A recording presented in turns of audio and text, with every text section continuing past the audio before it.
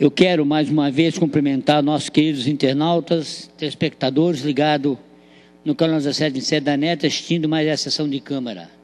O canal aberto está com problema, então não vou nem cumprimentar ninguém.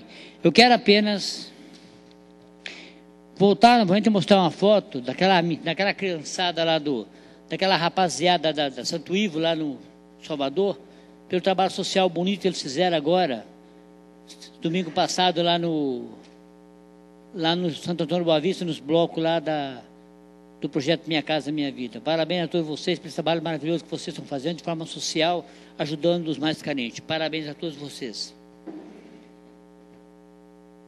Eu quero aqui dizer o seguinte. E foi aprovado um requerimento aqui hoje.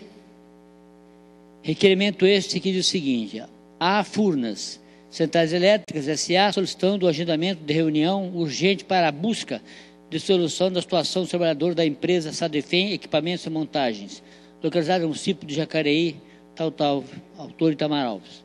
Bom, é o seguinte,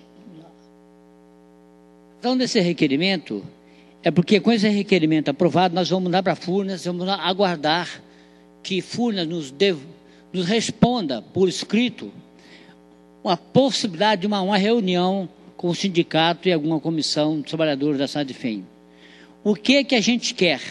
Furnas Empré é uma das maiores hidrelétricas do Brasil. E eles estão têm uma demanda de trabalho muito grande, eles precisam, inclusive, de empresas para poder trabalhar para eles.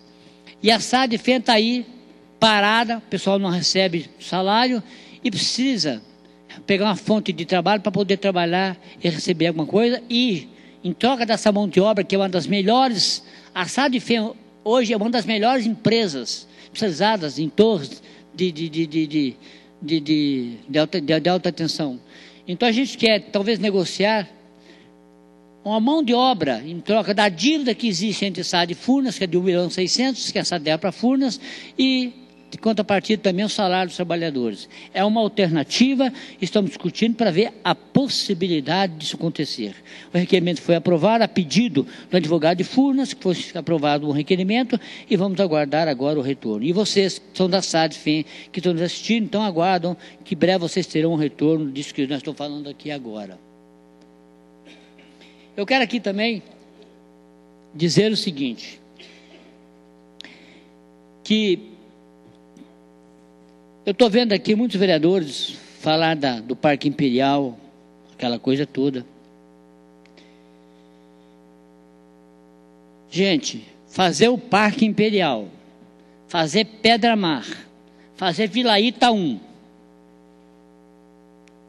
fazer lá o Jardim Real, a preço que esse pessoal pagou seus terreninhos, pagando 5 mil, 6 mil, 7 mil reais um terreno. E hoje, ter seu pedacinho de terra em tua casa, não é fácil. Isso é milagre.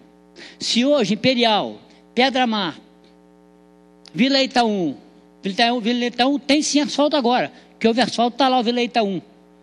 E o Vila Itaú 2 e Vila 3 parado porque, por, por, ordem de judia, por, por, ordem judicial, porque se a justiça não tivesse tomado a medida que tomou, as obras do Ita 2 e 3 estariam acontecendo e nós talvez já poderíamos já ter entregue já o Ita 2 e o Ita 3.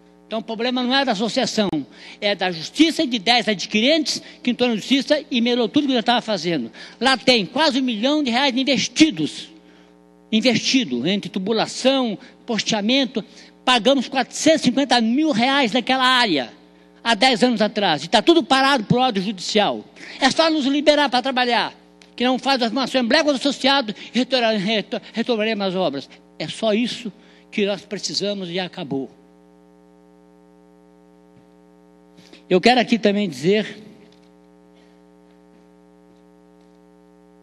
aos meus amigos e amigas, e até perdi o raciocínio que eu estava falando, que o tempo é curto, é cinco minutos, e não vai dar tempo também, porque eu, eu, eu ia ler cada indicação que fizemos e que encaminhamos ao Poder Executivo hoje. Como são 25 indicações, não vai dar tempo. Então a gente deixa isso para a semana que vem. Portanto, muito obrigado pela atenção.